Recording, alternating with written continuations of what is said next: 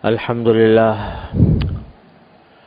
الحمد لله نحمده ونستعينه ونستغفره ونؤمن به ونتوكل عليه. ونعوذ بالله من شرور أنفسنا ومن سيئات أعمالنا. من يهده الله فلا مضل له ومن يضلله فلا هادي له. وأشهد أن لا إله إلا الله وحده لا شريك له. وأشهد أن سيدنا وسندنا ونبينا ومولانا محمدا عبده ورسوله. صلى الله تعالى عليه وعلى آله وأصحابه وبارك وسلم تسليما كثيرا. أما بعد فأعوذ بالله من الشيطان الرجيم. بسم الله الرحمن الرحيم. سبح اسم ربك الأعلى الذي خلق فسوى والذي قدر فهدى والذي أخرج المرعى فجعله غثاء أحوى. سنقرئك فلا تنسى إلا ما شاء الله. إنه يعلم الجهر وما يخفى ونيسرك لليسرى فذكر إن نفعت الذكرى. آمنت بالله صدق الله مولانا العظيم. وصدق رسوله النبي الكريم. ونحن على ذلك من الشاهدين والشاكرين. والحمد لله رب العالمین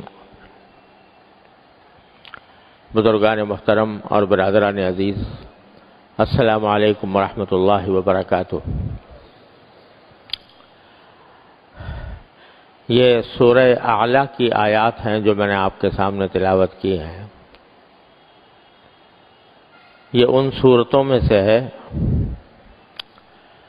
جو نبی کریم سرورت عالم صلی اللہ علیہ وسلم دو مواقع پر خاص طور پر بکثرت پڑھا کرتے تھے۔ ایک تو جمعہ کے دن، جمعہ کی نماز میں، پہلی رکت میں، اور عیدین کی نماز میں بھی پہلی رکت میں بکثرت اس کا پڑھنا منقول ہے۔ اور دوسرے وطر کی نماز میں پہلی رکت میں بھی نبی کریم صلی اللہ علیہ وسلم کا بکثرت اس آیت، اس صورت کو پڑھنا منقول ہے۔ اور اس کی، اس صورت کی ابتدا ہوئی ہے ایک چھوٹے سے جملے سے کہ سب اسم ربک اعلیٰ۔ حضور اقدس صلی اللہ علیہ وسلم کو خطاب ہے اور آپ کے واسطے سے ساری امت کو خطاب ہے کہ آپ تسبیح کیجیے اپنے پروردگار کے نام کی جو سب سے بالا و برتر ہے، سب سے بلند اور بالا و برتر ہے۔ اپنے پروردگار کے نام کی تسبیح کیجیے۔ تسبیح کے معنی ہوتے ہیں کسی کی پاکی بیان کرنا، کسی کی ذات کے بارے میں یہ بات بیان کرنا کہ وہ ہر عیب سے پاک ہے۔ تو اس کے معنی یہ ہوئے کہ اپنے پروردگار کے نام کی تسبیح کیجیے، جس کے معنی یہ کہ اپنے پروردگار کے نام نام مبارک کو پاک رکھیے اور اس کو ہر قسم کی پاکی سے یا ناپاکی سے یا عیب سے اس کو علیحدہ رکھیے۔ تو بتلانا یہ منظور ہے کہ اللہ جل جلالہ کا کہ جو اسماء گرامی ہیں، اسماء حسنہ جو عام طور سے ننانوے اسماء حسنہ کہے جاتے ہیں، ان تمام ناموں کو پاک رکھنے کا اہتمام کیجیے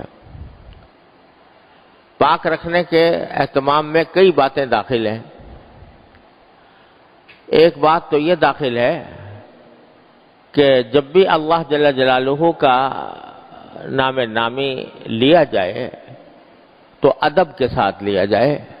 تعظیم کے ساتھ لیا جائے اور یہ اللہ تبارک و تعالیٰ کا حق ہے کہ جب اس کا نام آئے تو آدمی ادب کے اور تعظیم کے الفاظ استعمال کرے۔ جیسے صرف اللہ کہہ دینا، اس کے بجائے اللہ تعالیٰ کہے، اللہ سبحانہ کہے، اللہ سبحانہ و تعالیٰ کہے، اللہ جل جلالہ کہے۔ کوئی بھی تعظیمی لفظ اللہ تبارک و تعالیٰ کے نام کے ساتھ استعمال کرنا چاہیے۔ اب دیکھو، ہم دنیا کے اندر کسی ایسے شخص کا نام لیتے ہیں جس کو ہم جس کی ہم تعظیم کرنا چاہتے ہیں، جو اپنا بڑا ہوتا ہے، بزرگ ہوتا ہے، تو صرف نام لینے پر اکتفا نہیں کرتے ہیں، بلکہ اس کے ساتھ کوئی لفظ لگاتے ہیں۔ ایسا لفظ لگاتے ہیں جو اس کی تعظیم و تکریم پر دلالت کرتا ہو۔ اور کچھ نہیں تو صاحب ہی کہہ دیتے ہیں، کسی کا نام لیں گے تو اس کے ساتھ صاحب لگا دیں گے۔ اگر بغیر صاحب کے اگر کسی کا نام لیا جائے تو یہ اپنی اس میں سبکی اور تحسین اور توہین محسوس کرتا ہے۔ اور خاص طور سے اگر کوئی بزرگ ہے تو اس کے ساتھ حضرت مولانا علامہ اور اگر زندہ ہے تو اس کی عمر کی درازی کی دعا اس کے ساتھ کرتے ہیں مدضلہم کہتے ہیں دامت برکاتہم کہتے ہیں۔ اگر انتقال ہو گیا ہے تو رحمت اللہ علیہ کہتے ہیں۔ غرض صرف نام لے لینے سے پرہیز کرتے ہیں، اس کے بجائے اس کے ساتھ کوئی لفظ کے تعظیم کا استعمال کرتے ہیں۔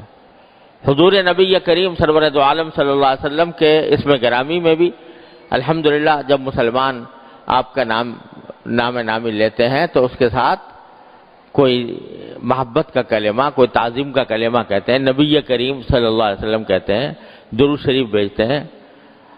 تو جب اللہ جل جلالہ جو ساری کائنات کے مالک و خالق ہیں اور ساری بزرگی اور سارا تقدس وہ تنہا اللہ تبارک و تعالیٰ کے پاس ہے، جس کو بھی اگر اللہ تعالیٰ دیتا ہے تو اپنے پاس سے عطا فرماتا ہے۔ تو اس کا اگر نام لیا جائے، تو اس میں اگر بے ادبی کی جائے، تو یہ کتنی بڑی کتنی بڑی کفران نعمت بھی ہے اور اللہ تبارک و تعالیٰ کے حق کا ضائع کرنا بھی ہے۔ اسی لیے بہت سے علماء کرام نے یہ فرمایا کہ جب بھی اللہ تبارک و تعالیٰ کا نام لیا جائے تو اللہ کے ساتھ تعالی کم از کم لگائیں۔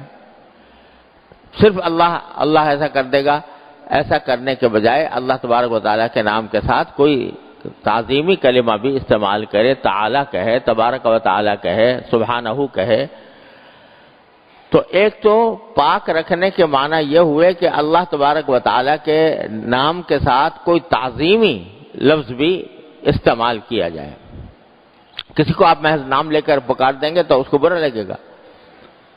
لیکن اس کے ساتھ کوئی تعظیم کا لفظ ہوگا، محبت کا لفظ ہوگا، تو اس سے وہ خوش ہوگا۔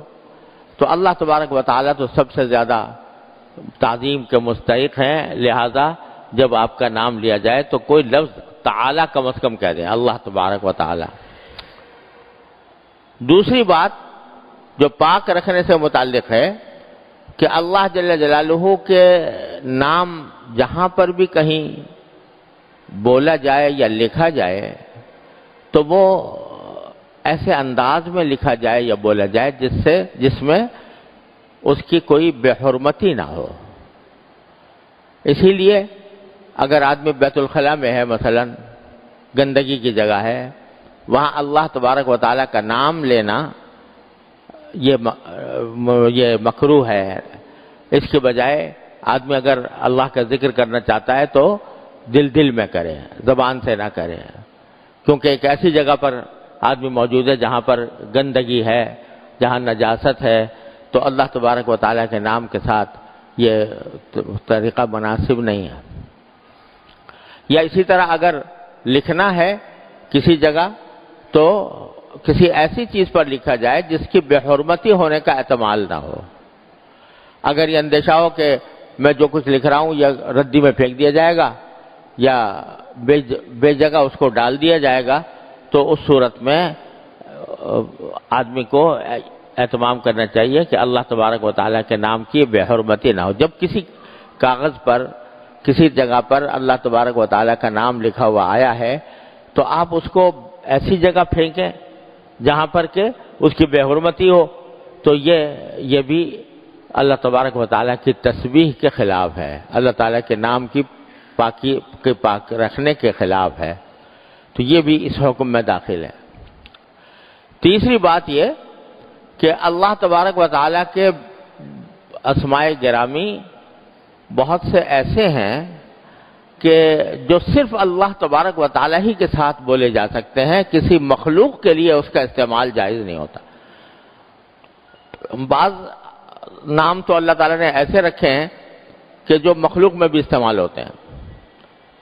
جیسے مثال کے طور پر کریم ہے یا رعوف ہے، یہ ایسے الفاظ ہیں کہ جو مخلوق کے لیے بھی استعمال ہوتے ہیں۔ نبی کریم صلی اللہ علیہ وسلم کے لیے بھی قرآن کریم میں رعوف الرحیم کا لفظ استعمال فرمایا۔ لیکن بہت سے اسماء ایسے ہیں کہ جو صرف اللہ تبارک و تعالیٰ ہی کے ساتھ خاص ہیں۔ وہ کسی اور کے لیے نہیں بولے جا سکتے۔ مثلا خالق ہے، پیدا کرنے والا۔ اب پیدا کرنے والے، والا جو ہے، یہ سوائے اللہ تبارک و تعالیٰ کوئی نہیں ہے۔ کیونکہ بنانے والے تو بہت سے بھی ہو سکتے ہیں۔ کوئی چیز بنا دی چند چیزوں کو ملا کے کوئی چیز مرکب کر کے کوئی چیز بنا دی، وہ تو کسی بھی کاریگر کا کام ہو سکتا ہے۔ لیکن پیدا کرنا، جس کو عربی میں خلق کہتے ہیں، اور اس کے لیے خالق کا لفظ استعمال ہوتا ہے، یہ سوائے اللہ تبارک و تعالیٰ کے کوئی نہیں، کیونکہ خلق کے معنی ہے عدم سے وجود میں لانا۔ جو چیز بالکل موجود ہی نہیں تھی، اس کو وجود عطا کر دینا، یہ سوائے اللہ تبارک و تعالیٰ کے کوئی نہیں۔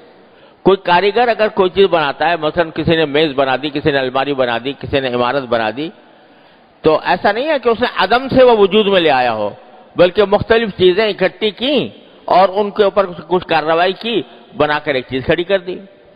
وہ سانع تو ہے یعنی بنانے والا تو ہے، لیکن خالق نہیں ہے۔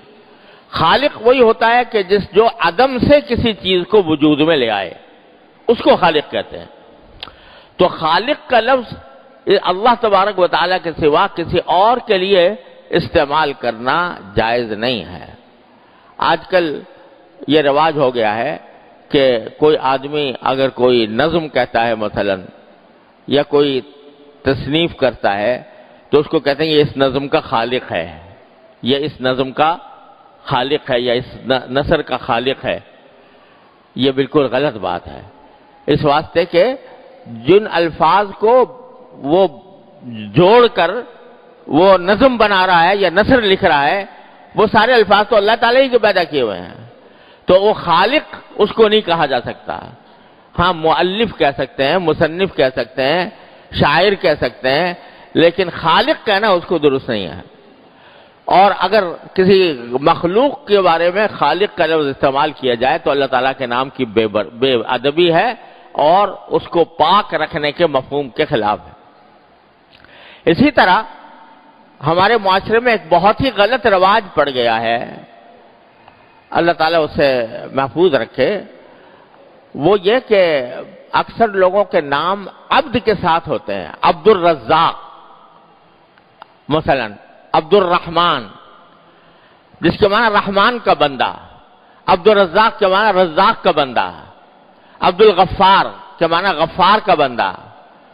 اب جب لوگ اس کا نام لیتے ہیں تو اس کے اندر تخفیف کر کے عبد کا لفظ اس میں سے نکال دیتے ہیں۔ غفار صاحب نے یہ فرمایا۔ رزاق صاحب یہ کہہ رہے ہیں۔ یا جو اور اسما اللہ تبارک تعالیٰ، رحمان رحمان صاحب نے یہ کہا۔ تو یہ انتہائی خطرناک بات ہے۔ کیا تکلیف ہے ایک لفظ بڑھا دینے سے عبد الرحمان عبد عبد الرزاق کہنے سے کیا تکلیف ہوتی ہے؟ یا ستار ہے عبد الستار ہونا چاہیے، اس کو ستار کہہ کر پکارتے ہیں۔ یہ اتنی بڑی بے ادبی ہے کہ جو نام اللہ تبارک و تعالیٰ کے ساتھ خاص تھا، آپ نے ایک بندے کو کہہ دیا۔ اور یہ تخفیف کرنے کا اور مخفف کرنے کا رواج ہمارے معاشرے میں اتنا زیادہ بڑھ گیا ہے کہ الفاظ کے ناموں کے اندر تخفیف کر کے کچھ آخری جو لفظ ہوتا ہے، بس اس کو پکڑ کر اس کا نام پکارنا شروع کر دیتے ہیں۔ یہاں تک کہ الہی الہی کے معنی میرا معبود۔ اب عام طور سے نام ہوتے ہیں کسی کے، مثلا فضل الہی، یا کسی کا نام ہے عبد الہی عبد الہ تو لوگ فضل کو لفظ ہٹا دیا اور کہتا الہی صاحب، بات سنی ہے تو الہی صاحب کہہ رہے ہیں، اب الہی کے صاحب کے کیا مانا ہوئے؟ اے میرے معبود کوئی آپ نے اس کو معبود بنا دیا۔ تو ذرا سی بے بے توجہی کے نتیجے میں اللہ بچائے، وہ الفاظ، شرک کے الفاظ بن جاتے ہیں۔ خود آدمی آپ نے آپ کو اپنے آپ کو کہہ دیتا ہے، میں الہی بول رہا ہوں۔ کسی سے بات کرے گا تو میں الہی بول رہا ہوں۔ اب الہی اپنے آپ کو خدا بنانے کے مرادف ہے۔ تو ایک ایسی بے توجہی کے نتیجے میں زبان سے جو کلمہ نکل رہا ہے، اگرچہ مقصد اس کا یہ نہیں ہوتا، لیکن غلط کلمہ ایسا نکل رہا ہے جو الفاظ شرک کے ہیں۔ اللہ کے سوا کوئی الہ نہیں۔ اللہ کے سوا کوئی رحمان نہیں۔ اللہ کے سوا کوئی غفار اور رزاق نہیں۔ ہے تو وہی ہے۔ تو کسی بندے کو، کسی انسان کو اس نام سے پکارنا یہ بالکل ناجائز ہے اور الفاظ تو شرک کے ہیں، ہم اس کو مشرق اس لیے نہیں کہیں گے کہ اس کا مقصد شرک کرنا نہیں تھا۔ بے وقوفی میں یہ لفظ بول دیا۔ اس واسطے ہم اس کے اوپر کفر کا، شرک کا فتوا نہیں لگائیں گے۔ لیکن یہ اتنی خطرناک بات ہے کہ الفاظ شرک کے ہیں اور ایسے الفاظ زبان سے نکالنا بالکل حرام اور ناجائز ہے۔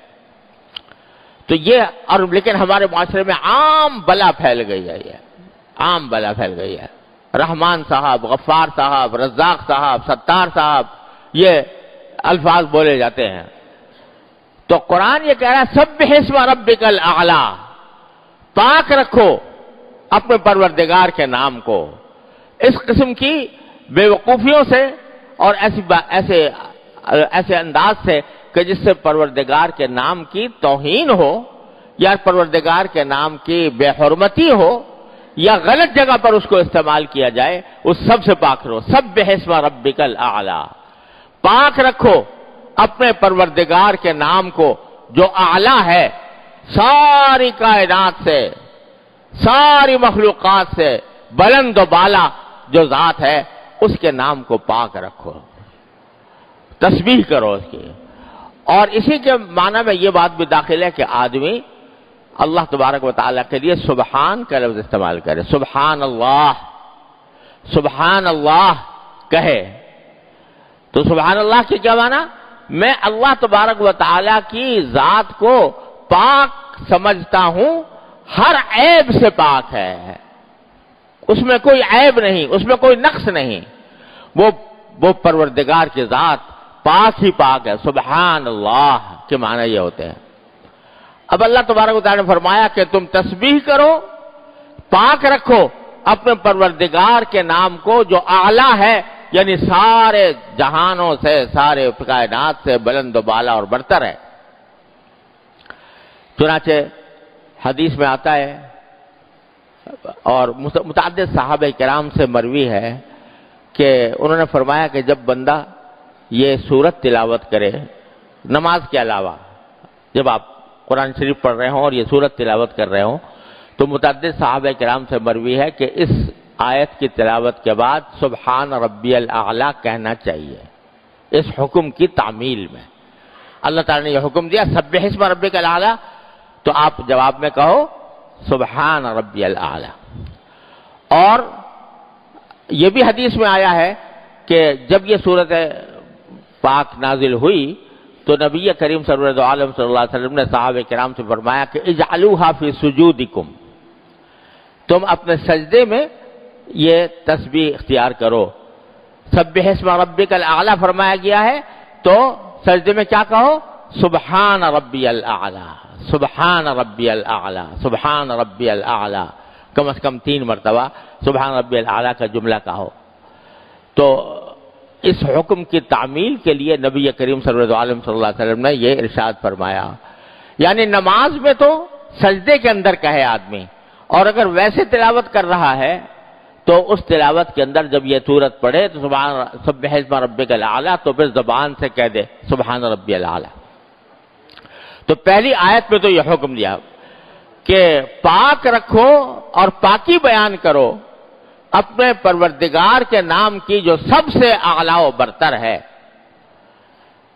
پھر آگے اللہ تبارک وطالعہ نے اپنی کچھ صفات بیان فرمائی ہے وہ صفات بیان فرمائی ہے کہ اگر آدمی ان پر غور کرے تو بے ساختہ اس کے منہ سے نکلے گا سبحان اللہ۔ اللہ تبارک و تعالیٰ کی وہ صفات ان کو جب آدمی پڑھے گا اور ان کا تصور کرے گا تو بے ساختہ اللہ تبارک و تعالیٰ کے لیے سبحان اللہ اور اللہ تعالیٰ کے لیے پاکی کا لفظ منہ سے نکلے گا۔ فرمایا کہ اللہ خالہ کا فسوا۔ پہلی بات تو یہ دیکھو، پروردگار کی کہ اس نے پیدا کیا۔ کس کو پیدا کیا؟ اس کا ذکر یہاں نہیں ہے۔ اور جب قاعدہ یہ ہوتا ہے کہ جب مفعول کا ذکر نہ ہو، تو اس کے معنی سب کو پیدا کیا۔ پیدا کیا یعنی سب کو پیدا کیا۔ ساری کائنات کو پیدا کرنے والا وہ ہے۔ آسمان اس نے بنائے، زمین اس نے بنائی، سیارے اس نے بنائے، دریا، پہاڑ اس نے بنائے، ہوائیں اس نے اس نے بنائی۔ اور انسان اور جانور اس نے پیدا کیا۔ تخلیق فرمائی۔ تم فرما رہے ہیں کہ تنہا اسی بات پر اگر غور کر لو کہ وہ ذات وہ ہے جس نے چیزوں کو عدم سے وجود بخشا۔ جو بالکل ناپید تھیں۔ کوئی ذرہ، کوئی کوئی عنصر موجود نہیں تھا۔ کچھ بھی نہیں تھا۔ اور اس نے کہا، کن۔ اس نے کن کہہ کر ان سب کو پیدا کر دیا۔ تو وہ ذات ہے جس نے پیدا کیا۔ پیدا کیا، عدم سے وجود میں لایا۔ جو اس کائنات میں کوئی بھی چیز یہ کام انجام نہیں دے سکتی کہ عدم محض سے کسی چیز کو وجود میں لے آئے۔ یہ اللہ تبارک و تعالیٰ اللہ خلقہ جس نے پیدا کیا۔ اب دیکھو، اللہ تعالیٰ نے اپنی سب سے پہلی صفت یہاں یہ بیان فرمائی کہ پیدا کیا۔ آپ یہ صفت جو ہے مخلوق کی طرف منسوخ کرنے لگو کہ یہ خالق ہے، یہ خلاق ہے، یہ کتنی بڑی ناشکری بھی اور کتنی بڑی بے ادبی اور بے حرمتی بھی کہ اس ذات کو جو تنہا خالق تھی، اس کی اس صفت کو تم نے کسی مخلوق کی طرف منسوخ کر دیا۔ تو اللہ خلا کا فسوا، پیدا ہی نہیں کیا، پیدا کرنے کے بعد اس کو ٹھیک ٹھیک پیدا کیا، ٹھیک ٹھیک بنایا۔ سوا کے معنی ٹھیک ٹھیک بنایا۔ کیا مانا کہ جو چیز بھی پیدا کی ہے، وہ اپنے تمام ضروریات اور حاجات اور اس کی تمام مسلحتوں کے مطابق پیدا کی ہے۔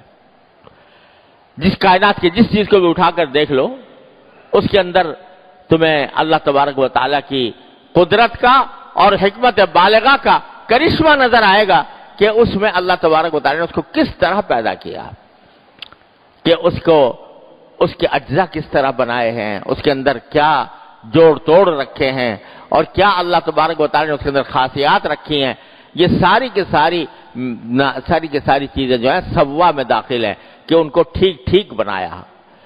تو اگر صرف اتنی بات پر یہ آدمی غور کر لے کہ وہ ذات خالق ہے، اس نے پیدا کیا اور پیدا کر پیدا بھی اس طرح کیا کہ ٹھیک ٹھیک پیدا کیا، تو اگر آدمی ذرا بھی اس پر غور کرے گا تو اس کے منہ سے سبحان اللہ ہی نکلے گا، وہ اللہ تبارک و تعالیٰ کی تسبیح کرنے پر بے ساختہ مجبور ہوگا۔